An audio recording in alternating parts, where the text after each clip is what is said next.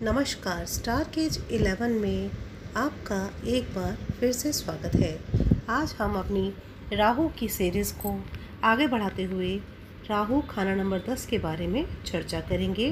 अगर आपको ये वीडियो अच्छी लगे तो लाइक शेयर सब्सक्राइब ज़रूर करें। दसवां घर शनि का पक्का घर होता है। मंगल यहाँ उच्च का होता है और गुरु नीच का हो जाता है। तीनों ग्रहों की अच्छाई और बुराई साथ साथ चलती है। अगर दसवें घर में शनि अच्छा होगा तो राहु भी अच्छा रिज़ल्ट देता है। और अगर शनि अच्छा नहीं होगा तो राहु भी अशुभ फल देगा।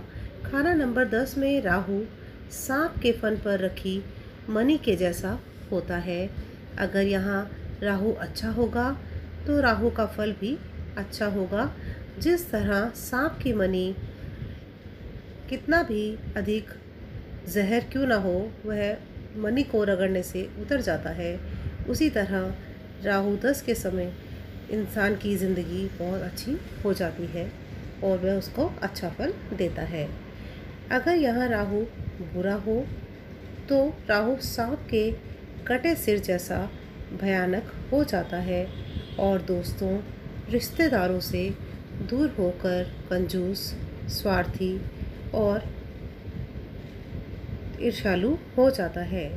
दसवें घर का राहु अगर अच्छा हो तो दीर्घायु, बड़ा व्यापारी, धन के लिए दुगना फल देने वाला होता है। दसवें राहु में समय अपने पिता के लिए तो ये अच्छा होता है, पर अपनी माँ और खुद की हेल्थ के लिए प्रॉब्लम क्रिएट हो सकती है। अगर कुंडली में खाना नंबर दस में राहु अच्छा हो तो व्यक्ति बहादुर, अमीर और लोगों से सम्मान पाने वाला होता है। राहु दस के समय अगर चंद्रमा अकेला हो, चौथे घर में हो तो व्यक्ति की आँखों को प्रभावित करता है। अगर राहु दस के समय मंगल बद हो जाए तो इसका भी उपाय करना चाहिए। मंगल बद कब होता है? जब मंगल केतु या मंगल बुध इकट्ठे हों या सूर्य और शनि इकट्ठे हो जाएँ तो मंगलवध हो जाता है। तो इससे व्यक्ति की ज़िंदगी में बहुत परेशानियाँ आ जाती हैं। ऐसे में व्यक्ति की दृष्टि और आयु दोनों ही, दोनों पर ही प्रभाव पड़ता है। खाना नंबर दस में सूर्य, शुक्र, मंगल और राहु अगर साथ हो जाएँ तो ये डरपोक हाथी की तरह बिहेव करता है। जैसे सेना में युद्ध के समय अगर हाथी डर जाता है तो वह अपनी ही सेना को कुचल देता है। उसी तरह यह यहाँ भी राहु अगर मंदा हो तो यह अपनी ही फैमिली और संपत्ति को नष्ट कर देता है। राहु अशुभ हो जाए तो व्यक्ति तंग दिल स्वार्थी हो जाता है और लोग और इसके रिश्तेदार इससे दूर होते चले जाते हैं। और खुद की आयु भी कम हो जाती है। दसवें घर में राहु एक ख्याल की तरह होता है। वह जो भी ख्याल कर लेता है, वह पूरा हो जाता है और उसे प्रॉब्लम होती है। उसको ऐसा जो, उसको ऐसा लगता है कि ये सब हो रहा है और वह सच में होने भी लग जाता है। चौथे घर में चंद्र और शनि अगर साथ हों और राहु दसवें घर में हो तो व्यक्ति की आँखों में समस्या हो सकती है। राहु अच्छा हो तो व्यक्ति मल्टीपल बिज़नेस में खूब धन कमाता है और अगर राहु अशुभ हो तो उसे लॉसेस भी खूब होते हैं। जब राहु दस में हो और व्यक्ति कंजूसी करे तो उसे धन की बहुत हानि होती है। राहु दस वाले व्यक्ति कभी शांत नहीं होते। ये हमेशा कुछ ना कुछ नया करने की सोचते रहते हैं। ऐसे लोगों को माता का सुख कम मिलता है। या तो वे अपनी माता से दूर रहकर स्टडी कर रहे होते हैं, या फिर जॉब के सिलसिले में कहीं दूर चले जाते हैं। ये बिज़नेस में निपुण होते हैं और काफ़ी ट्रैवलिंग करते रहते हैं। राहु दस वाले व्यक्ति को गंगा स्नान भी करना चाहिए। ये यज्ञ आदि भी करते हैं, जिससे इनके शत्रु कम हो जाते हैं। कोर्ट केस में भी इन्हें सफलता मिलती है। राहु दस वाला व्यक्ति शक्की होता है।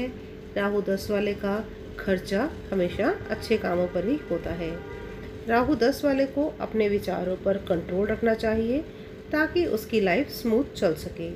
गलत विचार दिमाग में लाएगा तो उसकी प्रॉब्लम काफ़ी बढ़ सकती है। राहु दस के समय अगर अशुभ ग्रह भी साथ में बैठे हों तो उन ग्रहों का भी उपाय करना चाहिए, नहीं तो समस्या हो सकती है। मंदे काम करने से सोना बिक जाता है और उसकी जायदाद भी खत्म हो जाएगी, अगर राहु खाना नंबर दस में हो तो। शनि को सही रखना बहुत ज़रूरी है। अगर शनि अच्छा नहीं होगा तो राहु कोई भी अच्छा फल नहीं देगा। मंगल बद से व्यक्ति गुस्से वाला हो जाएगा। राहु दस वाले व्यक्ति को धूप में अपना सर ढककर रखना चाहिए और सर को हमेशा सफ़ेद या भूरे कपड़े से ढकेगा तो इसका रिज़ल्ट उसको काफ़ी अच्छा मिलेगा। अगर राहु अशुभ हो तो पूर्वजों का सोना और संपत्ति को भी नष्ट कर देता है। राहु की मंदी हालत से बचने के उपाय करके हम अपनी लाइफ को अच्छा और स्मूथ कर सकते हैं। हमें इनसे इसके अच्छे उपाय किस प्रकार करने चाहिए?